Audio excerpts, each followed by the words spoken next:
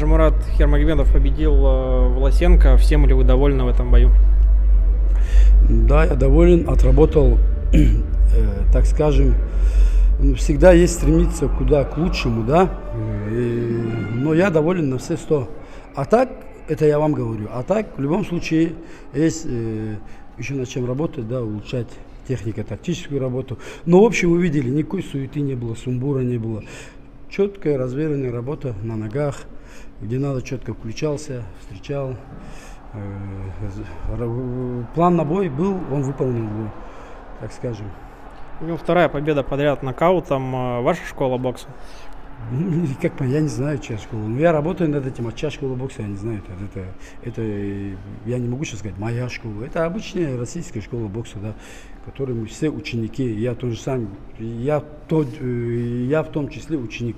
До сих пор набираю знания, где-то что-то, да. И какие-то моменты, да, делюсь со своими спортсменами. И вот получается. Жамура дрался в 84 килограммах. Он остается в этом дивизионе, правильно понимаю?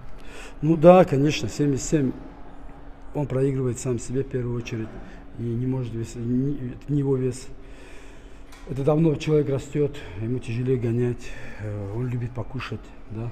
Поэтому это 84 это его на хороший вес. И он 92 вес, 93 в межсезонье. Значит ли это, что реванша с Туменовым не будет? Ну, не знаю, если 84 Туменов поднимется, почему бы нет. А так 77 он не может, это не его вес он просто он физически не тянет. Здесь уже такой момент, период, наступает время, где человеку надо поднимать вес, он сам это чувствует.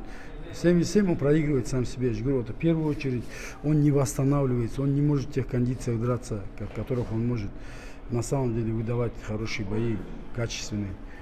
Но у нас все получилось, слава богу. Менеджер Олейника Никита Бурчак э, закинул идею про борцовскую схватку с Магомедом Исмаиловым. Как вам эта идея? Ну, прекрасная, ну, я думаю, прекрасная идея, но все зависит от площадки, которая может удовлетворить запросы спортсменов, и все. Это хорошая идея, почему бы нет.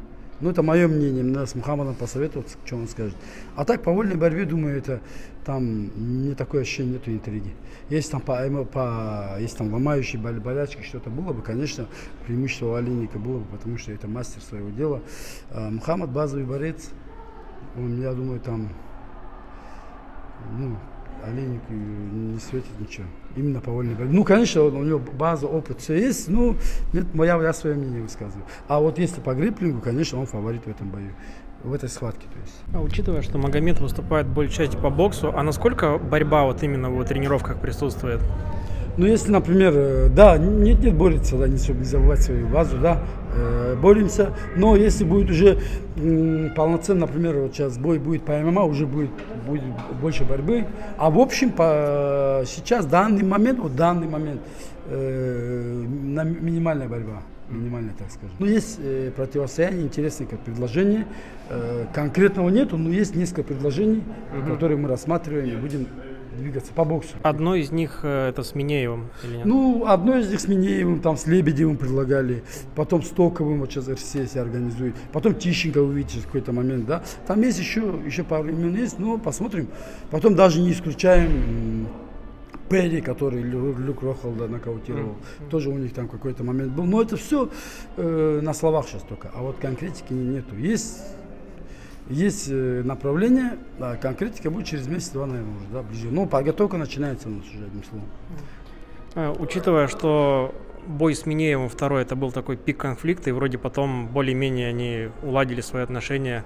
Бой по боксу, он будет таким же острым?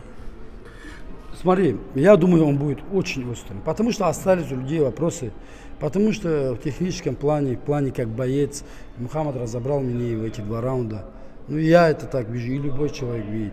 Да, Минеев показал характер, силу воли к победе, дух, выдержал это все, и это дало ему его плоды, и он достойный чемпион, который заслуженный чемпион в этой весовой категории, потому что не каждый человек такую бомбежку может выдержать и выйти на третий раунд.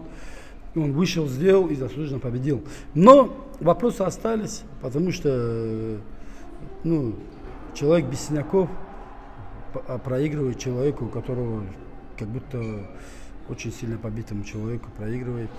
И у людей вопросы, почему, как, ну, задают, а почему, что продали бой, что нет, никто ничего не продавал, проиграл, потому что кислородное голодание не мог, дышать не мог, да, а причины этому много причин есть, что говорить.